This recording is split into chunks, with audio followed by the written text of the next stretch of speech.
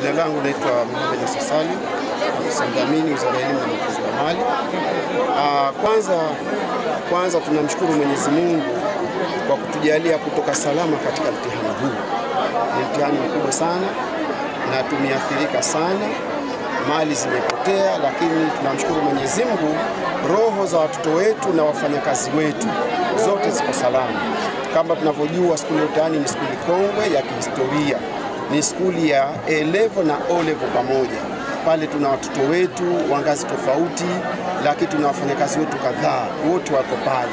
Sasa wote Mwenyezi Mungu ametuhifadhi, lakini shukrani za kipekee kwa serikali yetu ya mkoa na serikali ya wilaya kwa mashirikiano makubwa sana. Kama mnavyoona, Mheshimiwa mkuu wa mkoa amekuwa na sisi Wizara ya Elimu kutusaidia na vyombo vyake vya ulinzi na usalama. Kwa hakika ni jambo kubwa sana. Tunamshukuru sana Mheshimiwa mkuu wa mkoa na serikali yake ya mkoa kwa namna alivyoisaidia sekta ya elimu. Uh, lakini kubwa zaidi ni wape pole watoto kwa haya yaliyotokea. Vifaa vingi vimepotea, ni hasara kubwa kwao na kwa taifa, kwa sababu tumu kwenye maandalizi maandalizi ya mitihani ya taifa. Kubwa hapa, nataka niwaambie wazazi watulie, watulie, serikali yao ipo kama ambavyo tumemudu kupambana na mengine changamoto zilizotokea ndani ya sekta ya elimu, na hili Mungu atatuwezesha. Uh, watoto kama mlivyosikia, hofu yao ni maandalizi ya mitihani ya form 6. Huu ni mwezi wa Machi, tunafahamu ni mwezi wa Machi, ni miezi michache tu watoto hawa watalazimika kufanya mitihani ya taifa. Niwahakikishie wazazi kwa niaba ya Wizara ya Elimu, watoto hawa asubuhi ya kesho mazingira yao ya kusoma yatakuwa yameimarika, hawatapoteza hata siku moja, watasoma, wataandaliwa. Kubwa ni waombe watulie kisaikolojia, watulie kisaikolojia. Serikali yao ipo, wizara yao ipo, hawa watasoma, mazingira tutaweka mazingira rafiki na huduma zote zitakwenda vizuri. Lakini sasa hivi tumewahamishia skuli ya Jadida kwa muda, tutaathiri kidogo tu masomo ya skuli ya Jadida kwa muda mpaka pale maamuzi rasmi yatakayofanywa kwa madarasa mengine ya form 5 na kujia chini mpaka form 4 mpaka form 1. Kwa hivyo ni, ni maandalizi tu ya muda na taratibu zitachukuliwa rasmi, na niwaambie kwamba hakuna kitakachoathirika kwa swala zima la elimu ya watoto. Kwa hivyo tunamshukuru Mungu. Hoja watoto waliosema changamoto changamoto dahalia, ni kweli tunazo kwa Unguja na Pemba, na ndio maana serikali imeamua imeamua kwa maksudi kuchukua hatua ya kuongeza dahalia. Kama mnavyojua wanahabari, serikali ndani ya mwaka huu itaanza ujenzi wa dahalia kubwa pale Kifundi. Ile ni dahalia itakayochukua form 1 mpaka form 6, na nia na madhumuni ni kupunguza mzigo kwenye dahalia zetu zote na nadhani mnafahamu jitihada inayofanywa pale skuli ya Choka Tumbe, pale tunaongeza dahalia. Dhamira ndio hizo hizo za kupunguza msongamano kwenye dahalia zetu, kwa sababu msongamano huu ni kutokana na ufaulu wa watoto, ni jambo jema. Kwa hivyo na sisi kama serikali tunajipanga kwa kutanua miundombinu. Kwa hivyo ndani ya mkoa wa Kaskazini tunaongeza dahalia mbili ndani ya kipindi kifupi, kwa uwezo wa Mungu, ndani ya mwaka huu.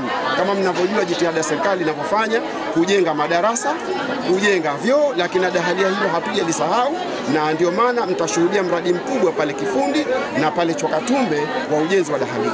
Kwa hivyo niwaambie, tuendelee kushirikiana, wazazi watulie wasisikilize taarifa zisizokuwa rasmi. Taarifa rasmi ya changamoto hii itatolewa na Mheshimiwa mkuu wa mkoa na Wizara ya Elimu. Hao ndio wako kwenye tukio. Wizara ya Elimu na serikali ya mkoa ndio wanafahamu nini kifanyike. Kwa hivyo wasisikilize wazazi taarifa nyingine. Niwaambie watoto wote wako salama, hata wale watoto 17 walioko hospitali. Ni swala la kupaniki na mishtuko, kwa sababu mtihani ni mkubwa kama tunavyojua chanzo hii cha shoti imetokea kwenye masili. Kwa hivyo watoto wameona, wameshtuka. Sasa watoto 17 kule wanaendelea kupata huduma vizuri, na wote afya zao ni nzuri, na wale waliokimbilia kwa wazazi wao tunaendelea kufanya mawasiliano na wazazi, na sio tunaendelea, tumeshafanya.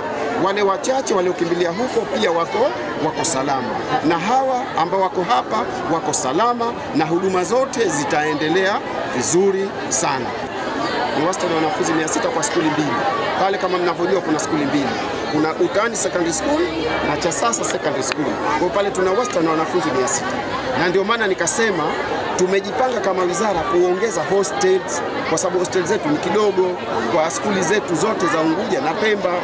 Ndio maana tukasema kwa sababu tunajua changamoto hii, na hii changamoto kwa sababu wanafunzi wanafaulu na tunataka wafaulu, na ndio maana kama serikali tunatanua miundombinu, tunajenga kama mnaofahamu, ndani ya mkoa huu wa Kaskazini zaidi ya vyumba 74 najenga ndani ya mwaka huu nao na harakati zinaendelea. Haya ni maamuzi ya Mheshimiwa Rais kuondoa hili.